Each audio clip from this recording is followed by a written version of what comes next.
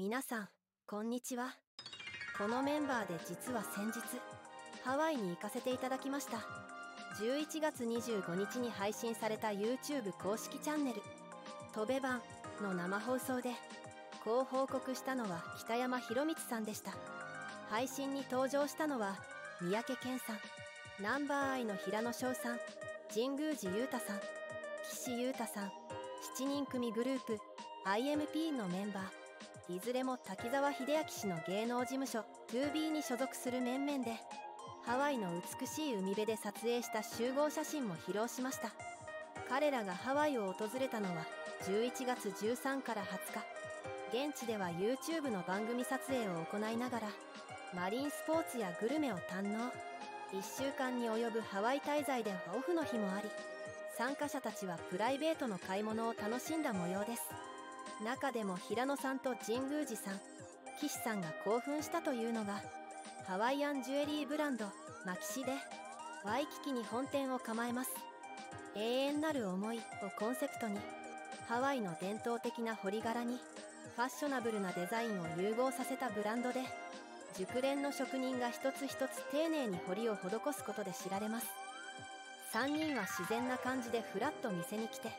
店員さんの話に耳を傾けながら真剣な表情でジュエリーをチェックしていました。特に平野さんが熱心な様子でいくつものジュエリーを爆買いしていました。3人が選んだのは身につけるものを災いから守り神秘的な力を与えるモチーフのハワイアンジュエリーです。この先ナンバーアイとして海外での活動に本腰を入れようとの覚悟を込めて3人で願掛けとして買ったそうです。ナンバーアイの滑り出しは上々で11月にイブ・サンローランとコラボしてオープンした香水ショップには300人の行列ができファンが集まりすぎたためタイアップ動画の放映が中止されました。また平野さんは11月末に香港で行われたルイ・ヴィトンのファッションショーに出席しストレイキッズのフィリックスやソン・ジュンギら韓国スターと交流しました。平野さんは3日までに自身のインスタグラムを更新。世界的音楽プロデューサー歌手ファッションデザイナーのファレル・ウィリアムスさんとの2ショットを披露しました。これまでの投稿でアットマーク・ルイ・ヴィトンから2024プレフォールメンズファッションショーにご招待いただき香港にお邪魔してますと明かしていた平野さん。前投稿ではショーを訪れた際の自身のショットを披露していましたがこの日は茶色の帽子に白のセットアップ。シャツ緑のネクタイハート型のサングラス姿のファレルと緑と黒の格子柄のセットアップ。白のインナー黄色と茶色のバッグを手にした。自身との2ショットをアップしました。 Greatest of all time。 Thank you アットマーク・ファレル。史上最高。ありがとう。アットマーク・ファレル。と綴りました。平野さんの投稿にフォロワーからはファレル様とすごい素敵です。すごいかっこよすぎる。これからますます世界に羽ばたいてね。紫耀くんお疲れ様でした。ルイ・ヴィトンのセットアップやアクセサリーやバッグ素敵でした。紫耀くん very very special person との2ショットピックに衝撃すぎます。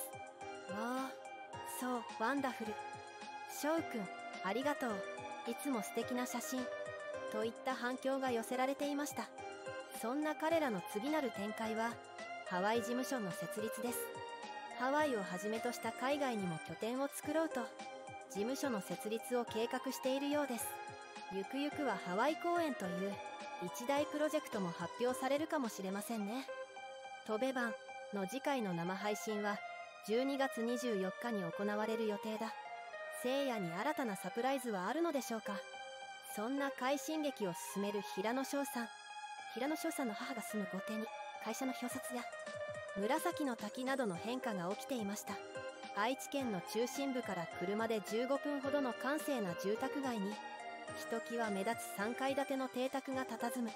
入り口には滝が流れ夜になると紫色の光にライトアップされる。建物は高い壁で囲まれまるで要塞のようです。掲げられた表札は複数ありそのうちの一つにこの7月7日に設立されたばかりで元キングプリンスの平野が社長を務める会社のものがあります。他に平野さんと共にキンプリを脱退した神宮寺勇太さん平野さんの弟でアパレル事業を手掛ける陸さんのそれぞれの会社の表札もありました。ここは平野さんの両親が住む近所でも知られた豪邸です。ただ複数の会社の表札が掲げられたり紫の滝が流れ出したのはごく最近ですね。ちょうど平野さんがジャニーズ事務所を退所し新事務所に合流したぐらいからです。平野さんが神宮寺さんと共に 2B への合流を発表したのは今年の七夕のこと。そのタイミングで2人とも個人会社を設立。そして平野の実家にも変化が見られるようになりました。僕が何か人生で大きな決断をする時の判断材料の一つに母親に喜んでほしいってことがある気がします。昨年7月キンプリ脱退で揺らいでいた時期に受けたインタビューでの平野さんの言葉でした。平野さんにとって実家に住む両親とりわけお母さんは共に人生を歩んできた同士でもあるんです。今回の滝沢さんとの合流新会社設立もお母さんのためにという思いがあったはずです。2B に合流し活動を本格化させる平野さんと神宮寺さん。実は滝沢さんと懇意の著名な音楽スタッフが平野さんと神宮寺さんのために集結。すでに制作が進められています。彼らの新しい楽曲制作にはこれまでもジャニーズ事務所所属のグループに多くの楽曲を提供してきたシンガーソングライターが関わっているのだといいます。特に急ピッチで制作が進められていたのが平野さんのソロ曲。彼のダンスレベルの高さを生かしたダンスナンバーだと聞いています。ハイレベルで激しい振り付けながらも緩急のついた華やかな曲で平野さん自身も納得の出来だとかすでに収録したという話も聞こえてきています。基本的にはソロ活動を展開しその後他のメンバーとのコラボに発展させていくプランがあるようです。さらにレコード会社との話し合いも進んでいるといいます。ごく限られたメンバーでの極秘の話し合いが進んでいて議論は6月に一気に加速したそうです。もちろん世界の市場を視野に入れた戦略が前提でそれにかなうレコード会社と話を詰めているようです。間もなく何かしらの結論が出ることになると聞いています。彼らの姿を直接見ることができるライブも期待されるところだが滝沢さんを知る芸能関係者は残念ながら年内はないと思いますとしこう続けました。今年の年末に東京ドームの予定を抑えているなどと報じられていますがどうも今のところ来年の春から夏頃にかけて各所でドーム級のライブが検討されているようですよ。またライブの生配信は積極的に行っていくようで 2B の関係者が 2B ライブジャパンという書評を出願しているようです。今後も 2B の動きにも期待しましょう。最後まで動画をご視聴いただきありがとうございます。チャンネル登録高評価もぜひお願いいたします。それではまた。